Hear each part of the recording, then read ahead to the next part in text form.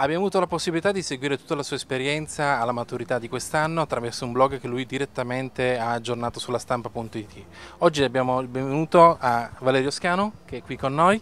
Ciao, grazie. Per concludere questa esperienza della maturità rispondendo a tantissime domande che sono arrivate da parte delle tue lettrici, lettori, fan. Eh, la prima domanda spontanea è questa. Eh, Come è andata questa maturità alla fine?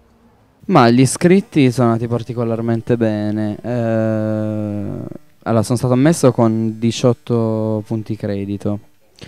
Gli iscritti ho preso 41 45 e, e l'orale non lo so perché ancora... Però non, non sono stato particolarmente brillante all'orale, devo essere sincero.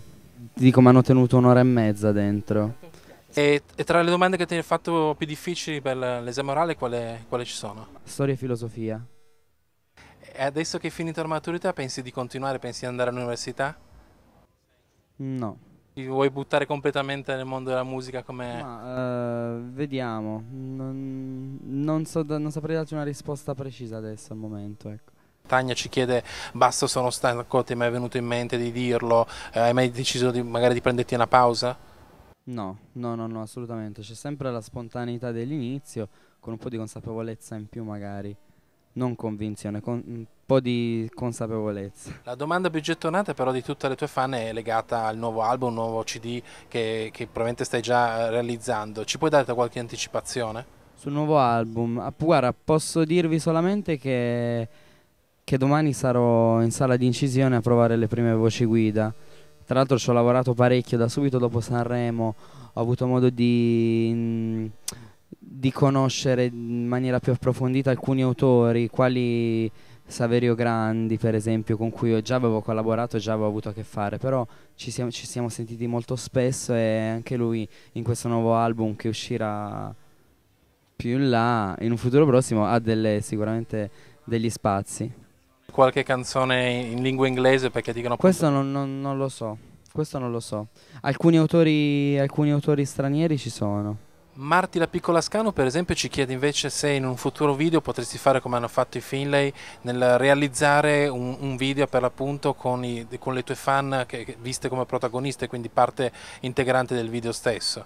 Ma non lo so, forse sì.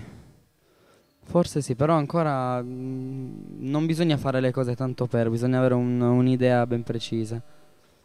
Veniamo a una domanda un pochettino pepata, un pochettino personale, che però è anche questa tra le più gettonate. Eh, molte delle tue fan ti chiedono, ti potresti innamorare di una, di una tua fan, appunto, di una tua ammiratrice? No.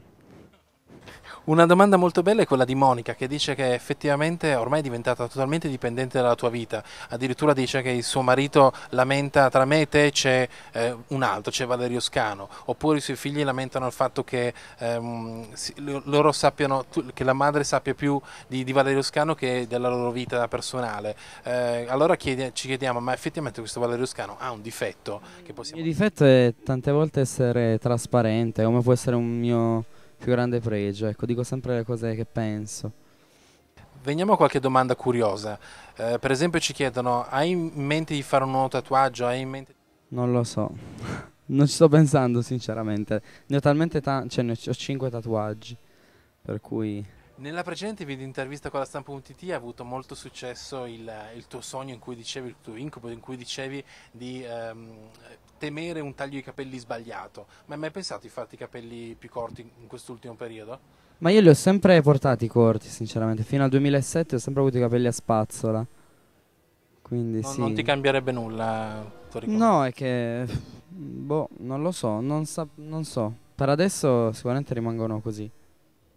Sempre a livello di curiosità, eh, per esempio Licia ci chiede se, se, potessi cambiare il tuo nome, se avessi potuto scegliere il tuo nome, quale avessi scelto al posto di Valerio? Uh, Alessandro è, è, il nome che ho scelto io per mio fratello. Quindi credo Alessandro. Mm, da bambino mi piaceva molto Alessandro, mi piace tuttora, è un nome sportivo, ecco. Per concludere questa piacevole chiacchierata ci sono molte tue fan che in questi giorni compiono gli anni, c'è Ioangela per esempio che chiede di fare un augurio per il compleanno di Benedetta, c'è ehm, Bebe Scanina che compie 20 anni oggi, puoi fare magari un, un, un piacevole augurio a tutte queste persone che vivono un giorno speciale proprio oggi che è il tuo concerto? Allora tanti auguri! Fin da amici mi, è, mi ha colpito con la sua voce potentissima. Perché è bravissimo.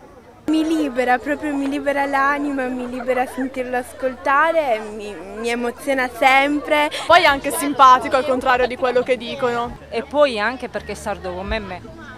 Una bellissima persona, un ragazzo molto sincero, piace a tantissima gente, anche se gli uomini non vogliono ammetterlo. Grazie mille. Alla prossima e un bacione a tutti gli utenti e agli amici di lastampa.it.